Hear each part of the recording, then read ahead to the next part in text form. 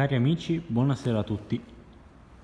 Oggi vi mostro, come ormai da un anno a questa parte, un altro ciao. Non si può dire nuovo acquisto, perché è da oltre un mese che ce l'ho. Non avevo ancora trovato il tempo di farvelo vedere. Però oggi eccomi qua. Premetto subito che è stato venduto all'amico del canale Giuseppe conosciuto appunto tramite il mio canale che non solo serve a farvi vedere dei mezzi i mezzi che io acquisto ma serve anche a creare nuove amicizie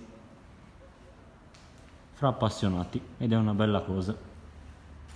Questo è un ciao anni 70 conservato colore rosso come potete ben vedere ha qualche piccola magagna che ora andrò a elencarvi. Comunque appena arriverà a casa di Giuseppe verrà sistemato per bene ed entrerà nella sua piccola collezione personale.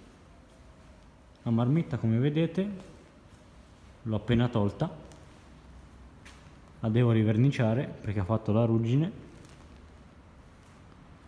la vernicerò appunto con bomboletta di nero resistente a 800 gradi apposta per marmitte. Non usate mai colore normale anche perché il calore che proviene dal motore lo cuoce e quindi non è uno spettacolo fa solo danno. Quindi andiamo a vederlo un po' più da vicino. Chiaramente dopo più di 40 anni è un po' sbiadito, va lucidato chiaramente. Comunque il suo bel rosso si vede, è ancora un po' infangato, anche perché era in una fattoria, i segni del tempo ce l'ha, la sella è la sua originale, un pochino spaccata qui nell'angolo come succedeva a gran parte delle selle di quell'epoca, anche perché è un punto debole, molto fragile. Poi altra cosa che davvero non riesco a tollerare è questa riparazione fatta da schifo. Il parafango come vedete si è tagliato e hanno pensato bene, anziché saldarlo, di mettere dietro un pezzo di ferro e avvitarlo. Ditemi voi se si può fare un lavoro del genere. Veramente uno schifo. E poi è stato ritoccato a bomboletta.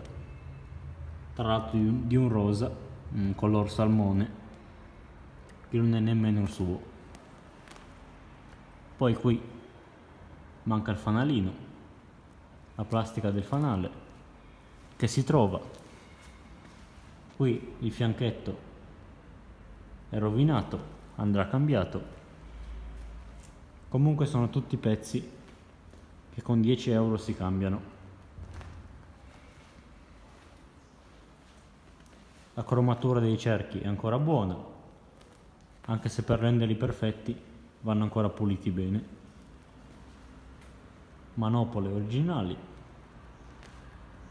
fanale un pochino rotto, la plastica e poi qui è stata fatta una modifica. Hanno tolto il pulsante che serve per accendere i fari e regolare la luminosità. È stato spostato qui. Tramite questo comando che è anch'esso d'epoca perfettamente funzionante vedete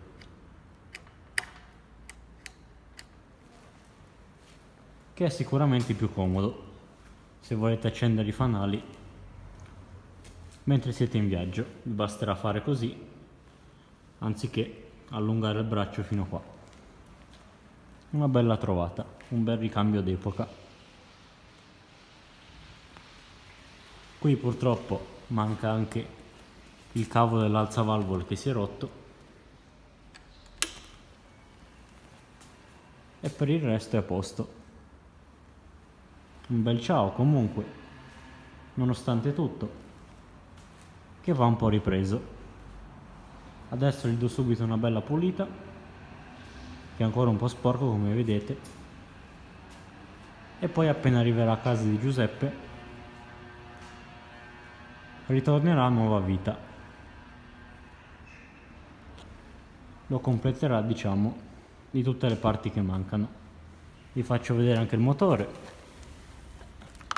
C'è da comprare anche la staffa che fissa la pedana. Il motore dai è abbastanza pulito.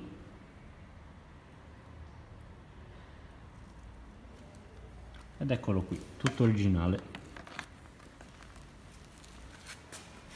Con questo vi saluto vi ringrazio per seguirmi sempre numerosi.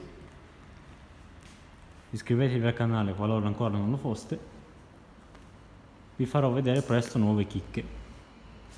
Ciao a tutti alla prossima